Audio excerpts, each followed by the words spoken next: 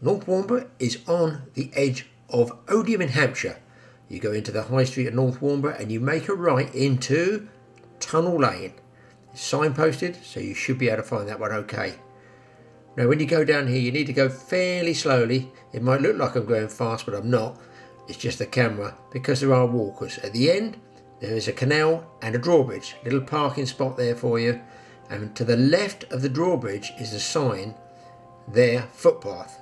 Now, if you go in the afternoon, this is particularly good if the sun's out because you're walking into the sun. So you can see there the footpath going across that field, right across to the other side. And obviously, it differs here as the seasons change what the crops are like. Nice, easy, flat walking. When you get to the other side of the field, you can walk along the hedge side just in front of me there, but there's also a little gap. Now, if you go through this gap, there will be a stile there. There always is a stile there, and there's paddocks for horses either side. So you go over the stile, taking great care not to fall, and you've got to follow those railings and the footpath sign that's put up there to the opposite side of the field.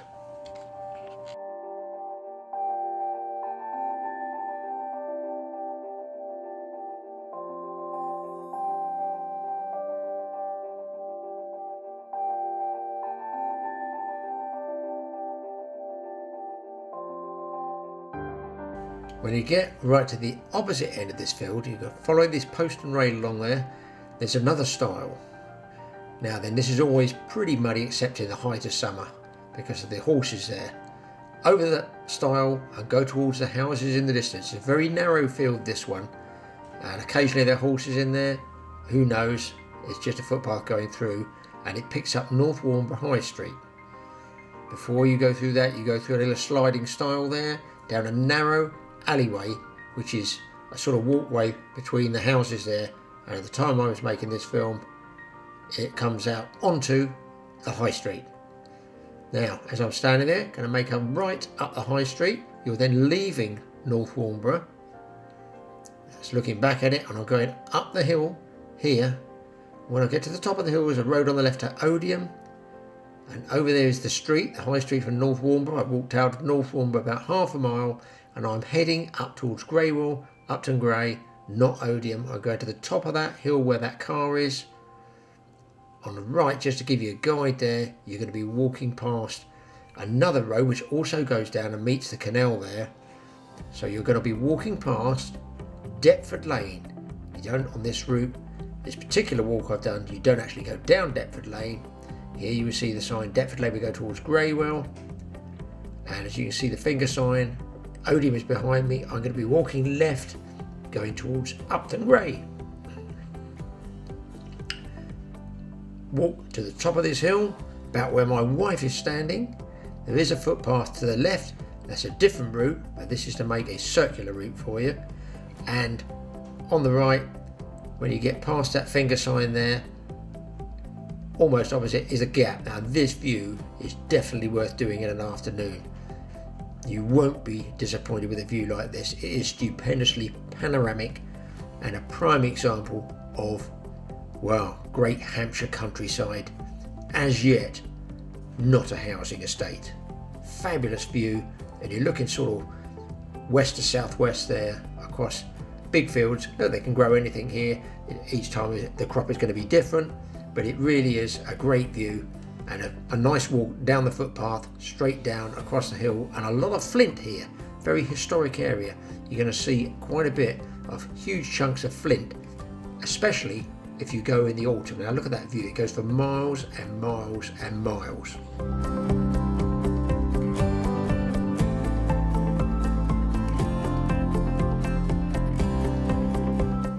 Now there's a particularly large lump of flint there. As you can see, it's actually been cleaved off there, presumably by the plough when it goes through there. If you're, if you're into collecting flint, you want to come here in the autumn after they've ploughed everything up, early winter.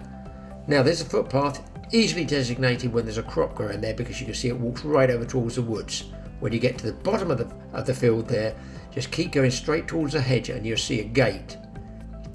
Now there is the farm crossing gate, I call that one. Some people call them kissing gates. I think it's called a crossing gate. It's marked livestock grazing. Now, they might or might not be here To the right, I can go back towards the canal.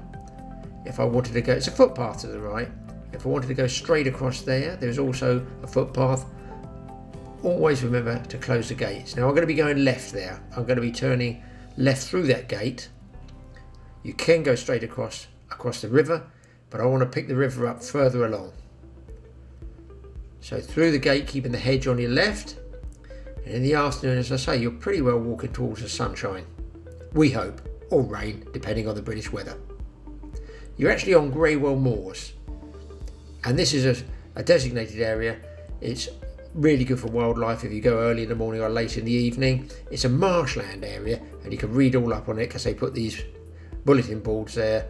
Um, you know, give you a bit of information there. A little bit of information will obviously give you an idea of what area you are where you're walking. You, you've walked possibly half a mile along, and you will come to another one. There's the field on the left, that's the one we walked across. You're going to be come to another stile, you'll then be leaving Greywell Moors. There's a sign, so that's going to be behind me.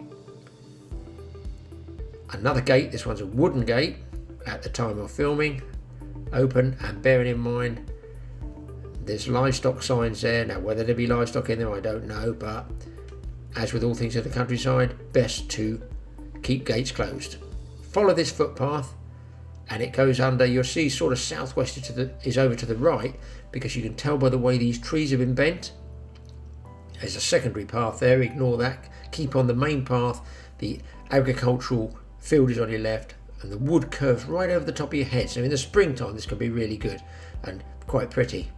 In fact, you can notice just how much ivy there is on these trees here, and that's another another uh, little bee I have in my bonnet about how much ivy is growing now.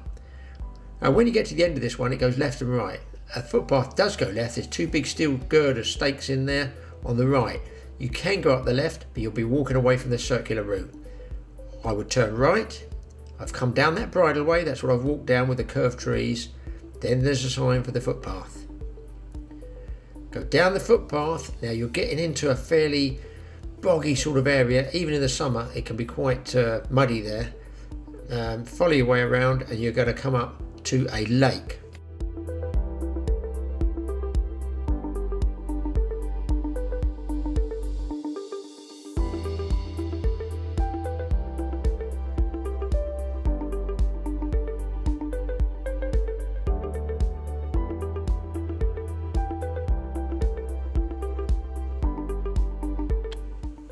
Now these clumps, you can see these tussocks on the left, I've read up that they can be actually 50 years old. So a very historic area this, and this lake is unbelievably clear. There's the underwater camera. How clear is that? It looks like the Bahamas, it looks like the Caribbean. Hard to believe, it's just outside Odiham in Hampshire, just up from North Warnborough. And as you can see, I'm there in the middle of winter and it's tap water clear. But being a watery sort of area where the springs rise, the footpath is also muddy. Wonderful setting, but in fact, I'd never really see a lot of bird life there, so whether that water doesn't hold a lot of insects or plant life, I don't know for them. But there you can see these unusual tussocks, and I say they can be up to 50 years old, these weird looking things. So that's quite something that's quite interesting, I find anyway, of walking past something that's nearly as old as I am. So you follow the footpath along, you've got the lake on your left, and you come up against the mill here. A really, really old mill. You're going to pass just slightly to the right of that mill. There's an old sluice. You can see the old wood timber sluice there, and just look at the tap water clarity of the water running through into the little river there.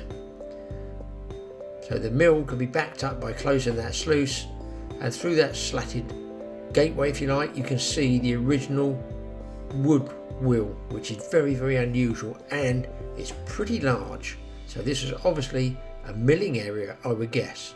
If I put the camera through there, you can see that is probably the actual original mill wheel that they use. Maybe the spokes are missing there. I can see the holes in the top.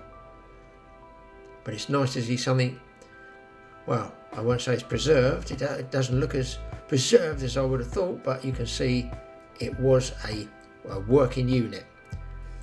So come back out and just opposite you you'll see Greywell fly fishing. That's where they're do the trout fishing there.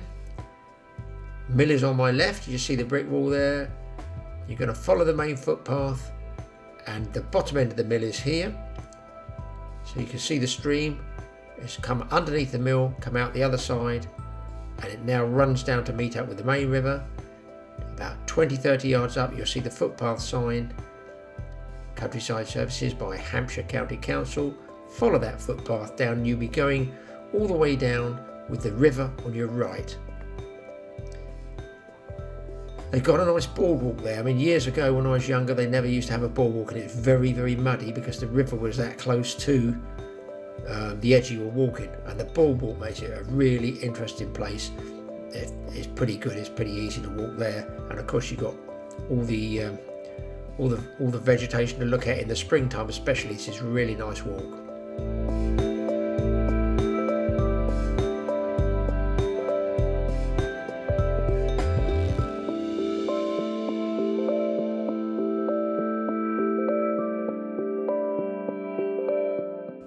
Now, a lot of this over the years, I've noticed the last year or so have been cleared. Now, if you get to the end of the boardwalk, you go back on the track again, you will eventually come into the graveyard. I suppose you could call it the dead centre of the place. There's the church.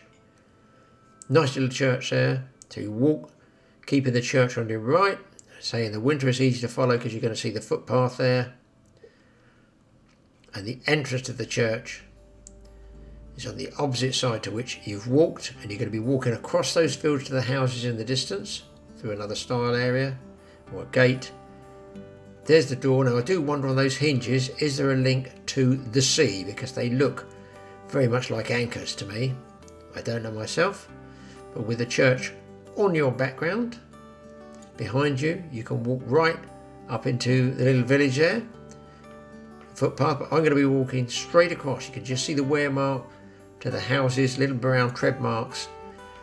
Right to the other side is really two fields, but they could they could of course make it one field. So if you imagine you're walking through this little hinge wooden gate, going to be walking right to the far side there, keeping the woodland on your right, walking in a straight line. And when you get to the end of that, you'll see a footpath sign and another stile which takes you down through an alleyway between some properties.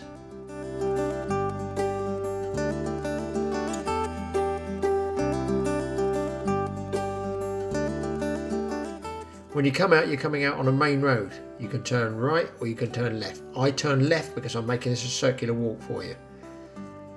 You walk up the road, taking care to watch out for traffic. Not particularly busy, but always be aware when you're walking on the road. In between houses, you're in a, a mature residential area, I'm going to call it. There is a pub up on the left there if, if you do want to break and go and have a meal. Um, can't think of the name, but I think it's Fox and Goose, I'm not sure. On the right, just before you get to that T junction, is a footpath. Take this footpath, and it's quite narrow. It's going to go to the top end of the Basingstoke Canal.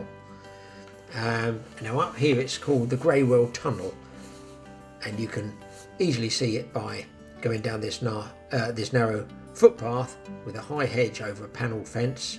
And when you get to the end, it's recently been cleared. This is in 2016, early 2016.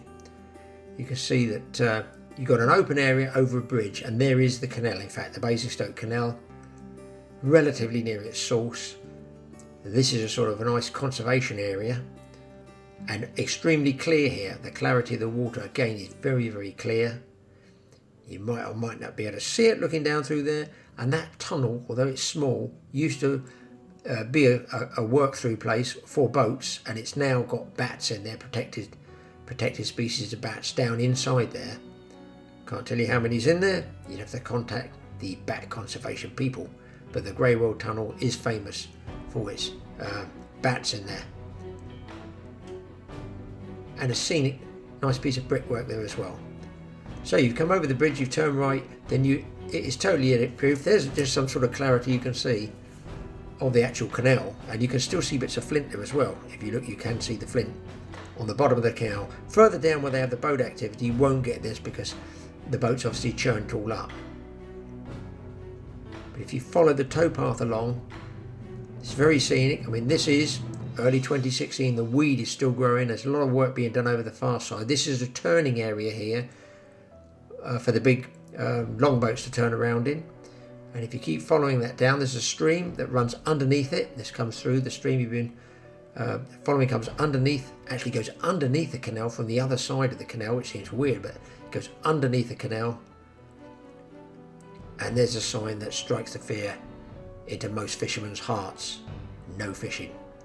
Now, a couple of hundred yards on from there, you have Odiham Castle. When I was a kid, it was called King John's Castle, and now it looks like it's been renamed Odiham Castle.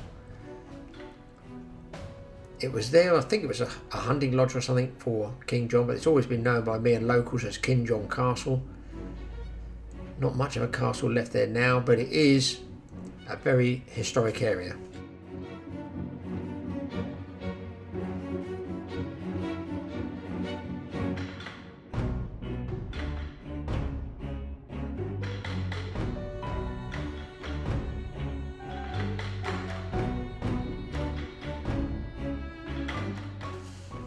Also note that a lot of the building there was done with that very same flint. I'm going to call it cemented in there, but I'm assuming it's not cement. But you can see between 1207 and 1214, King John had the castle built here. And then I believe Odiham was attacked in 1216 by Le French.